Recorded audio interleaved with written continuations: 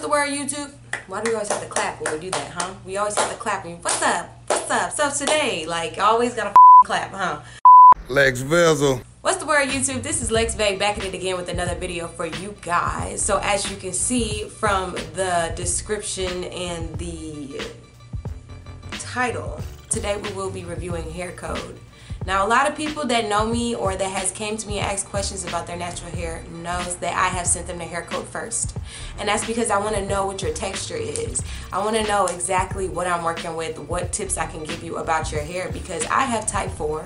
I knew that before um, this survey, but a lot of people that have type 3, type 2, you know, I didn't know the proper products that they needed for their hair. So I'd always send them the hair code.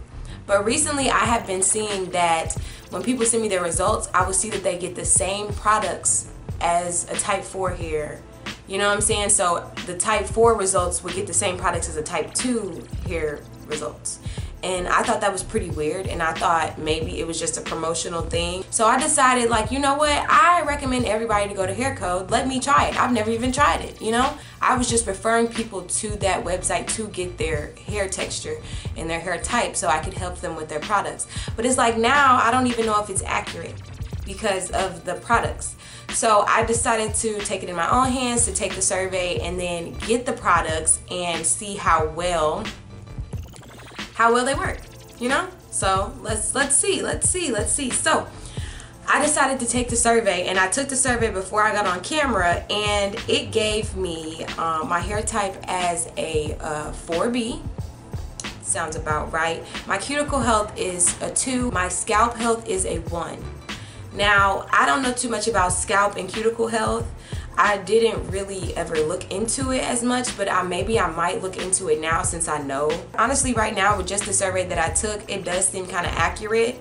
Um, I did think I was a 4A with hair type. It's like 4A in certain areas, 4B, and then some places it's probably like a type 3. So when I did this survey, it gives you certain product. This is where the Pantene Gold Series comes in play.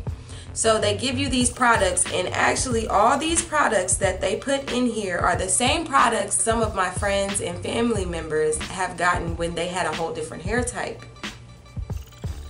Now you see where I'm going. So they told me to get the shampoo, the conditioner, the buttercream, and the the curl awakening spray, which I could not find in stores and then my Black is Beautiful Deep Conditioner, which I couldn't find in stores as well. But we're not worried about those two products right now because I am not scheduled for a deep conditioner and I do not, for the camera, I do not have to do a curl awakening spray because this is just gonna be, you know, day one of my hair just showing you exactly what it does when my hair is completely dry. So I do want to get started because I'm kind of in a rush like always.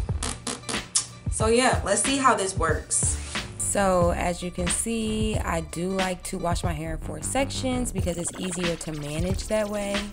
So I just start off with one section by wetting it, of course. Then I shampooed it with the Pantene Gold Series shampoo. It was very, very fruity smelling. It was really good. It was like a citrus smell. And when I washed my hair with it, it made my hair super soft, shockingly. I did not expect that from the shampoo. Now, after that, I did use the conditioner. Sorry about not recording rinsing out the shampoo but it was just so bad like it was horrible that the the camera was just everywhere so once I put the conditioner in, I twist it back up. And so when I do that, I let it sit like that, obviously. So, like I said, the camera was not working out for me to be able to show you the process of me washing and conditioning each section. But once I got done putting the conditioner in, I basically took my shower, let it sit for a minute, and then I rinsed it out individually. So each section got rinsed out and twisted back up so it'd be more manageable for when I was doing the styling process. So, yeah.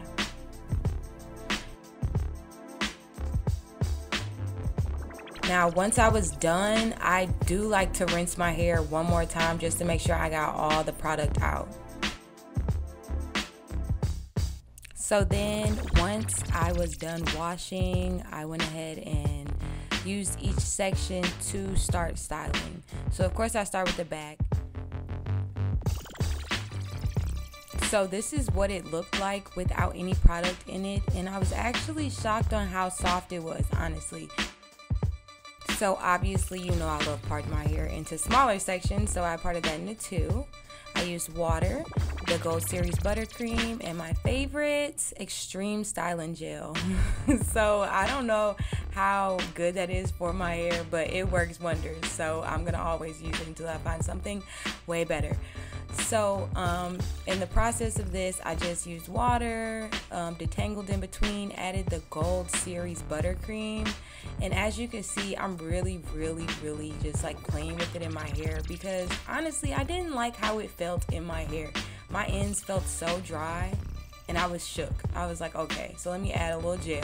Maybe that'll make it work. You know what I'm saying? So then I did the test where I brush and then shake, you know, and it just wasn't there. So I added a little gel, hoping that would work, make it look a little bit better.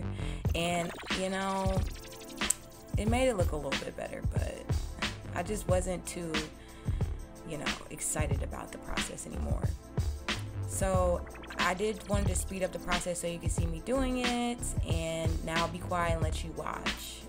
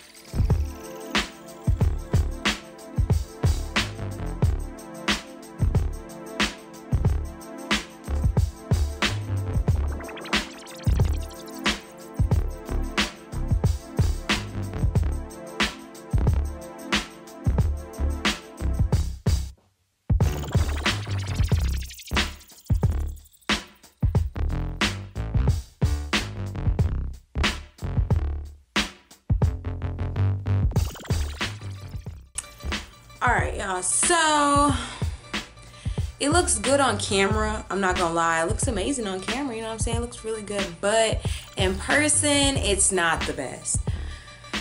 It is, um, it's okay. It's all right.